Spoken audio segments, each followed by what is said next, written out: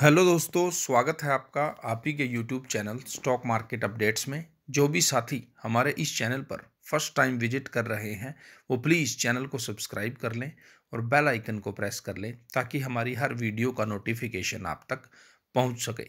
दोस्तों, आज इस वीडियो में हम बात करेंगे ऊर्जा ग्लोबल शेयर के बारे में। दोस्तों, अगर इस शेयर की कल की परफॉर्मेंस की मैं बात करूँ तो कल हमें स्टॉक में अपर सर्किट देखने को मिला था। पिछले पाँच दिन में आप देख सकते हैं, लगातार अपर सर्किट में ये कंपनी चल रही है। एक महीने में कंपनी में लगभग 170 परसेंट से ज़्यादा की तेज़ी हमें बनती हुई दिख रही है। इससे पहले भी मैंने जब ये स्टॉक आठ नौ रुपये पर था, तब भी इसके बारे में एक वीडियो बनाया था। आप चैनल पर विज़िट करके वो वीडियो भी देख सकते हैं।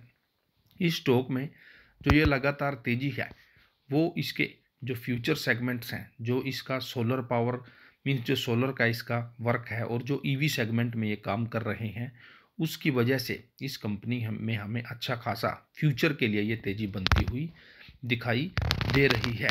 छः महीने की बात करें तो आप छः महीने में देख सकते हैं 340 परसेंट के रिटर्न्स वहीं एक साल में भी आप देख सकते हैं, लगभग 322 परसेंट के रिटर्न्स इसने अपने निवेशकों को दिए हैं।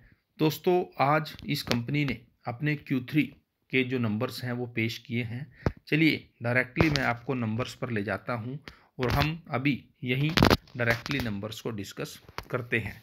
तो चलिए, आपको थोड़ा यहाँ शायद विजिबिलिटी में थोड़ा इश्यू हो सकता है बट चलिए अब स्टार्ट करते हैं।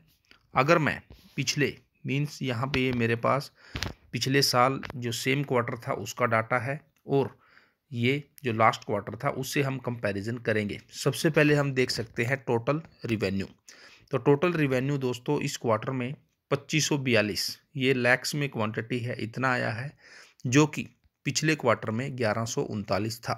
मींस आप देख सकते हैं क्वार्टर ऑन क्वार्टर जो डबल से भी ज़्यादा रिवेन्यू कंपनी ने जनरेट किया है। वहीं लास्ट ईयर इस सेम क्वार्टर में जो ये रिवेन्यू था, वो उनतालीस सौ इकतालीस लैक्स का था। मीन्स आप देख सकते हैं क्वार्टर उन क्वार्टर तो हमें इम्प्रूवमेंट दिख रही है, लेकिन पिछले साल अगर इस साल से कंपैरिजन करें तो हमें गिरावट नज़र आ रही है।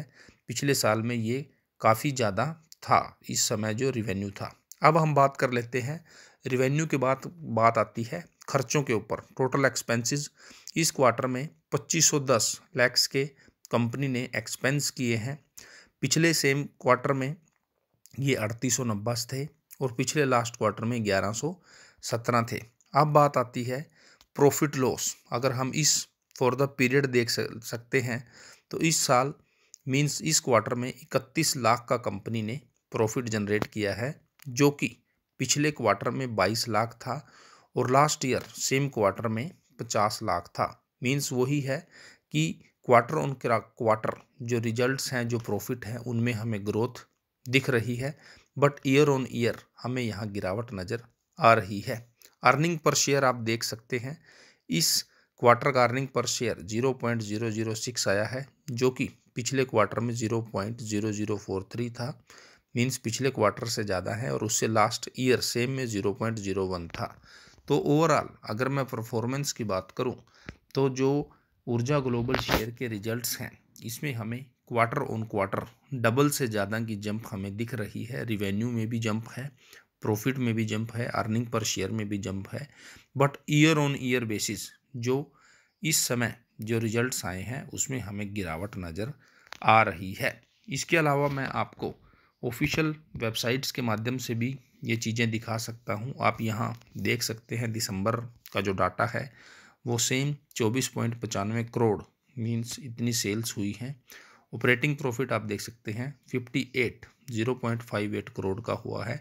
Net profit zero point three one crore. पिछले क्वार्टर से हमें इम्प्रूवमेंट नज़र आ रही है, लेकिन इस मींस जो ईयर ऑन ईयर डाटा है, उसमें हमें गिरावट नज़र आ रही है। तो ओवरऑल अगर बात करें तो ठीक ठाक कंपनी के जो रिजल्ट्स हैं, वो हमें, हमारे सामने आए हैं। कोई ज़्यादा बड़ा धमाका हमें देखने को नहीं मिला है। अगर मैं अपने लिहाज से बात करूँ तो मुझे इस कंपनी से कुछ ज़्यादा एक्सपेक्टेशंस नज़र आ रही थी।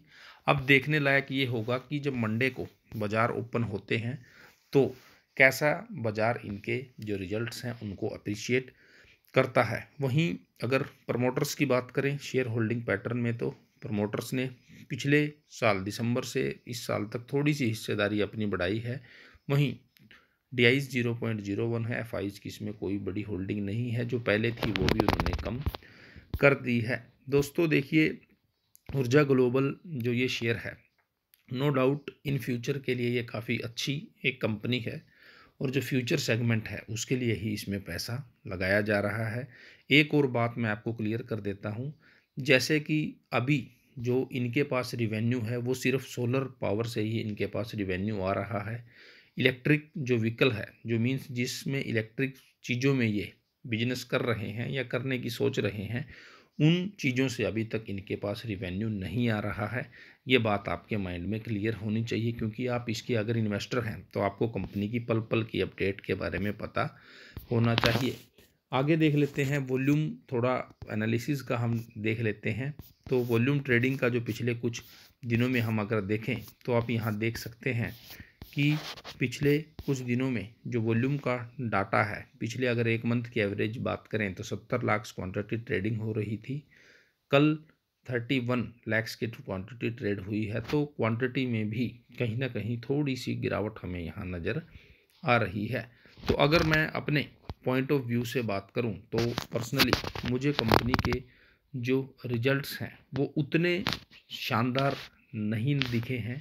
जितने की एक्सपेक्टेशंस बाज़ार भी कर रहा था और हम भी कर रहे थे कि कंपनी अच्छे रिजल्ट्स पेश कर सकती है। No doubt quarter on quarter जो कंपनी ने जो ग्रोथ दिखाई है, वो काबिल तारीफ़ है।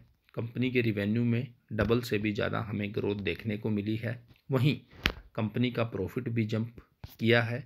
But year on year basis अगर आप बात करें तो कंपनी का जो रिवेन्यू भी वो भी काफ़ी कम हुआ है और कंपनी का जो प्रॉफिट है वो भी काफ़ी हमें कम होता हुआ दिखा है। तो चलिए अब तो मंडे को ही कल जब बाज़ार ओपन होंगे, तभी हम देखेंगे कि बाज़ार इनके रिजल्ट्स को कैसे अप्रिशिएट करता है।